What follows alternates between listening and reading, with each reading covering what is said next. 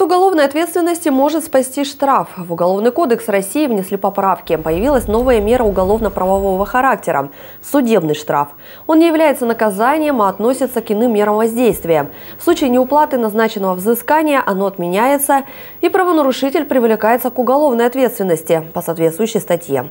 В Ангарский городской суд Следственным комитетом были направлены два материала с ходатайством о прекращении уголовных дел и назначении меры уголовно-правового характера в виде судебного штрафа. Новая мера может быть применена в отношении лица, а, впервые совершившего преступление небольшой или средней тяжести, и если оно возместило ущерб или иным образом загладило причиненный преступлением вред. В Ангарский городской суд поступило дело о драке одного из ночных клубов. Два нетрезвых приятеля подрались с правоохранителями. Сейчас органы юстиции рассматривают вопрос о назначении новой меры – штрафа.